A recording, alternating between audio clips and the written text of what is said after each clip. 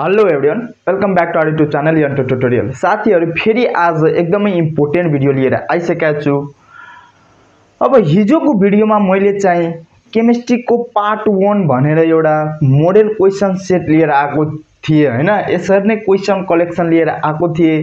तर आज चाहिँ पार्ट टू हुनेछ भिडियो केमिस्ट्री फर्स्ट फर्स्ट सेमेस्टरका लागि डिप्लि डिप्लोमा इन इन्जिनियरिङ अल भनेको इन्जिनियरिङ अल फ्याकल्टीको लागि र आइएससी एजीको लागि सेमेस्टर वाइज जतिवटा फ्याकल्टीको इक्जाम हुन्छ सबैको लागि यो क्वेसनहरू यो भिडियो एकदमै इम्पोर्टेन्ट हुनेछ त्यसैले म भन्छु यो भिडियोलाई धेरैभन्दा धेरै सेयर गरिदिनु होला तपाईँहरू हस् अब आउँछ पार्ट टूको भिडियोमा कस्तो कस्तो क्वेसन आयो त यदि पार्ट वानको भिडियो तपाईँहरू हेर्नुभएको छैन भने त्यहाँ गएर डिस्क्रिप्सन बक्समा लिङ्क हालिदिन्छु।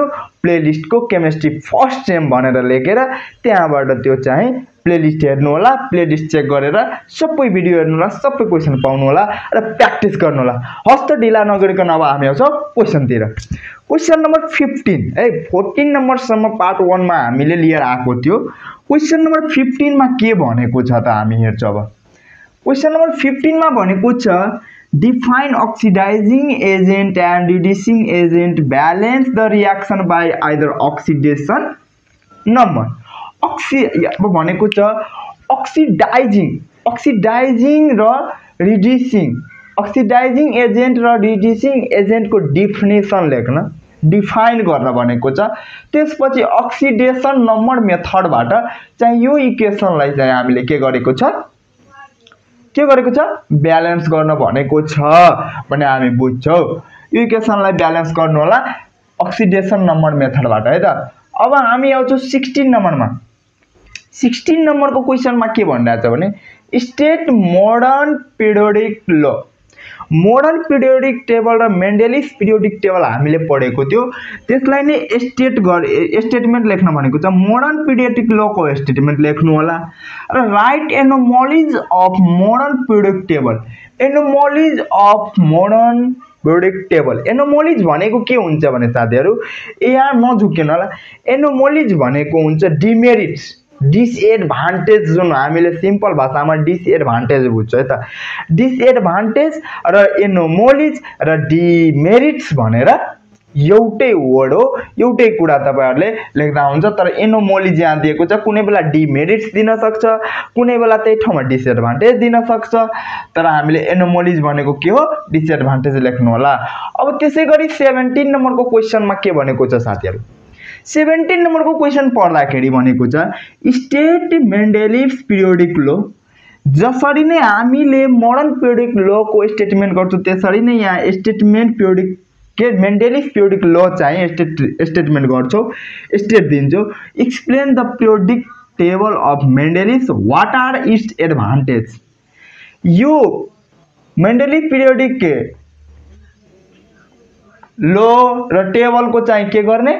एक्सप्लानेसन गरिदिने र यहाँ एडभान्टेज लेख्ने। मोडर्न पिरियोडि पिरियोडिक टेबल चाहिँ होइन जुन बनायो भने त्यसको एडभान्टेजहरू के के हो? फाइदाहरू के के हो? ओ त्यो लेख्न भनेको छ। पाँच छवटा पोइन्ट लेख्नु होला तपाईँहरू। अब आयो हाम्रो question number thirteen question number थ ए sorry question number eighteen question number एट्टिनमा के भनिरहेको छ भने define Faraday explain about Faraday's first law of electrolysis अब हामीले फ्राडे ल पढेको थियो फ्राडे फर्स्ट ल फ्राडे सेकेन्ड ल भनेर पढेको थियो नि। हो त्यो यो भनेको चाहिँ यहाँ क्वेसन नम्बर थर्टिनमा भनेको छ फ्राडे ल भनेको के हो? डिफाइन गर्नु होला। त्यसपछि भनेको छ फ्राडे फर्स्ट लो भनेको के हो? फ्राडेले फर्स्ट लो के दिएको थियो इलेक्ट्रोलाइसिसको? अनि त्यो लेख्नु होला तपाईँहरू यहाँ। ल अब चाहिँ हामी आउँछौँ नाइन्टिन नम्बरको क्वेसनमा नाइन्टिन नम्बरको क्वेसनमा कस्तो छ भने define acid and based on the basis of boosted concept.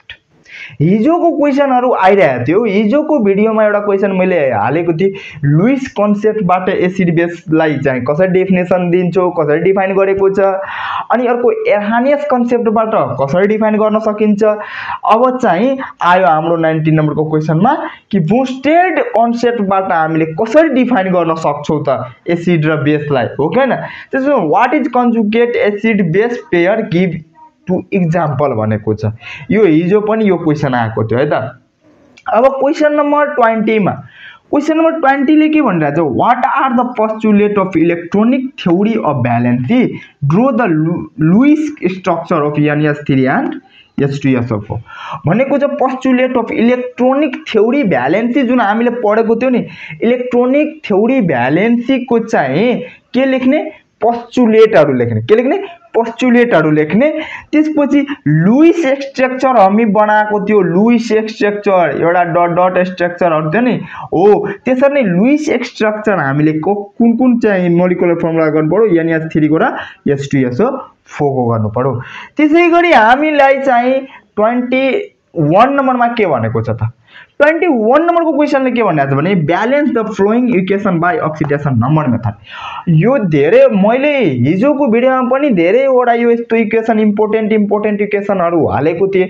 आजको क्वेसनहरूमा पनि यो अक्सिडाइजिङ ए अक्सिडेसन नम्बर मेथडबाट इक्वेसनहरू आइरहेको छ त्यसैले यो इक्वेसनहरू जति यहाँ मैले भन्छु नि त्यतिबाट मात्र इक्वेसनहरू ब्यालेन्स गर्न भन्छ अक्सिडेसन नम्बर मेथडबाट साथीहरू त्यसैले चाहिँ यो इक्वेसनहरूलाई एकदमै ध्यानमा राख्नु होला र यति पढिसके सकेपछि तपाईँहरू एकदमै फोर्टी फाइभ मार्कको मैले चाहिँ दाबी गरेर भन्छु फोर्टी फाइभ मार्क्स तपाईँहरूलाई पक्कै पनि आउँछ क्या केमिस्ट्रीमा।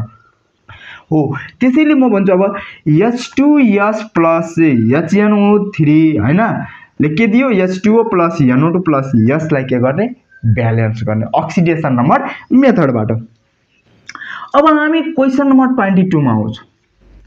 क्वेसन नम्बर ट्वेन्टी टूमा के भनिरहेछ भने पर्छ write down the significance and limitation of the flowing chemical equation एउटा केमिकल इक्वेसन दिएको छ त्यसको चाहिँ सिग्निफिकेन्स सिग्निफिकेन्स र के त लिमिटेसन हामीले पढेको थियो फर्स्टै च्याप्टरमा होला यो।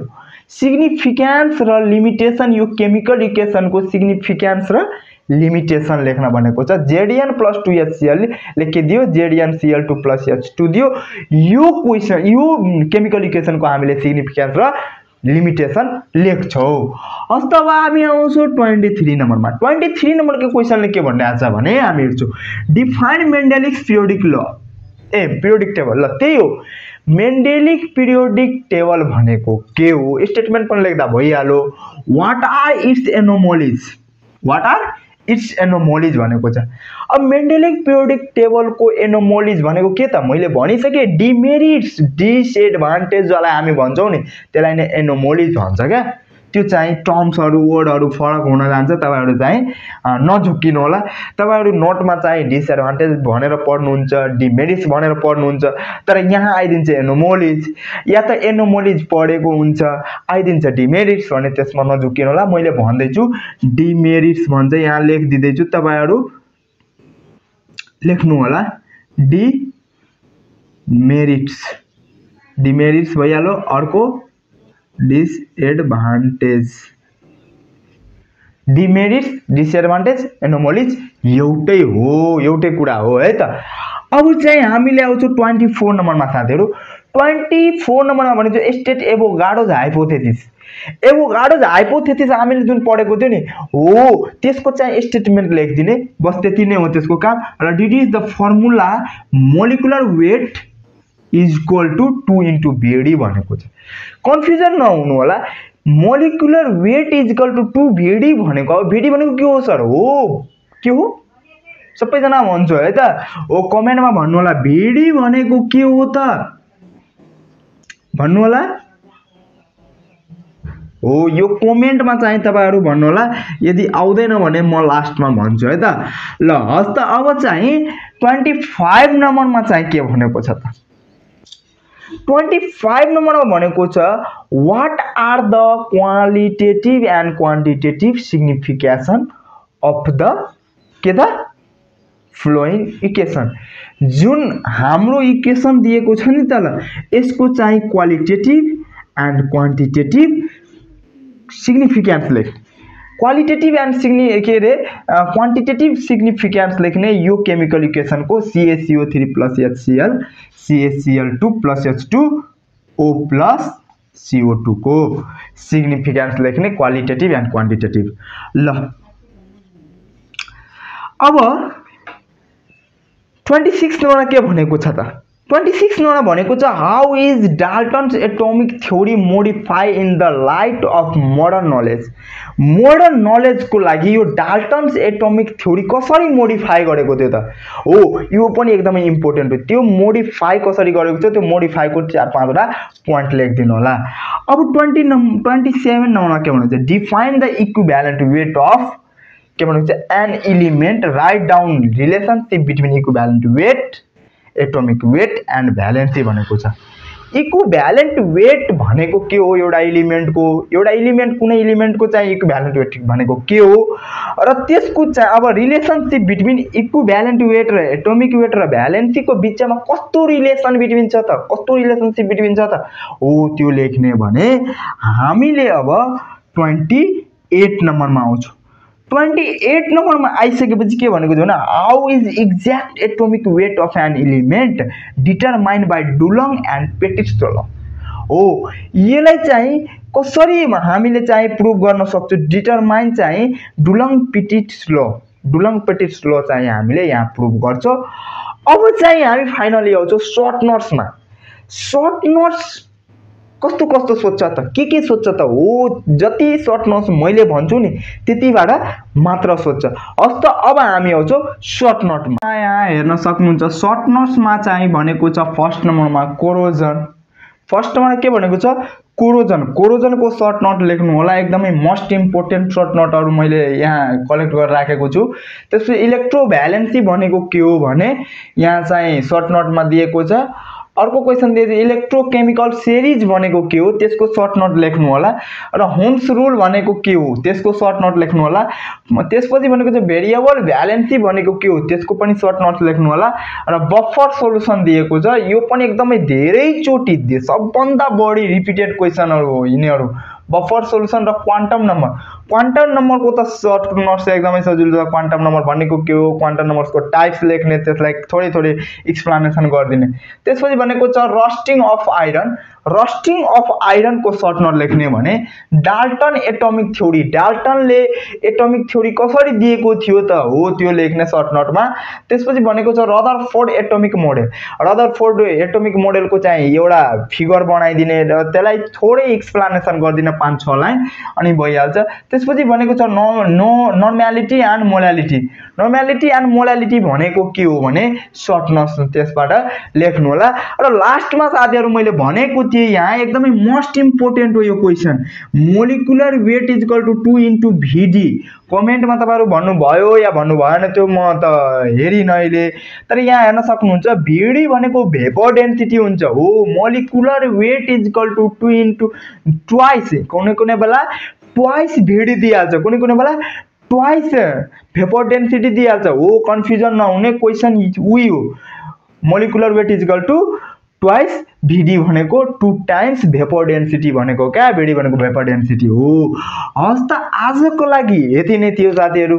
यदि तपाईँहरूलाई यो भिडियो हेल्पफुल लाग्यो भने कमेन्टमा कमेन्ट गरिदिनु होला कमेन्ट बक्समा कमेन्ट छोडिदिनु होला र सँगै पढ्ने साथीलाई सेयर पनि गरिदिनु होला यो भिडियो ताकि उनीहरूलाई पनि सजिलो हुन्छ। अब हामी भेट्नेछौँ नेक्स्ट भिडियोमा। हस् त तबसम्मको लागि बाई बाई।